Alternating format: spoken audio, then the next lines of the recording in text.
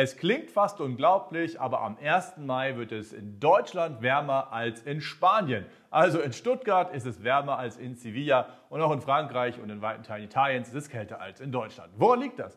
Naja, schauen wir uns den Temperaturtrend an und hier sehen wir eine richtige ja, Temperaturexplosion, eine Temperaturblase, die da auf uns zukommt, eine Wärmeblase. Das geht so ab Freitag los, dann geht es steil nach oben mit den Temperaturen, am Wochenende schon und das steigert sich dann bis zum 1. Mai hin. Ne?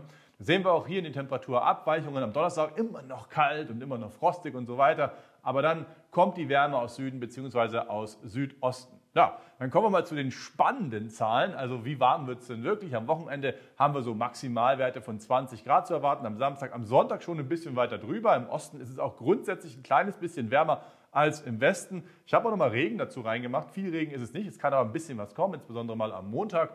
Ja, und dann gehen wir mal auf den 1. Mai und da sehen wir Sommertemperaturen im ganzen Land, aber gleichzeitig auch schon wieder so ein bisschen Gewitterneigung im Westen. Also da müssen wir ein bisschen drauf aufpassen, aber nichtsdestotrotz, der Mai startet sehr, sehr schön.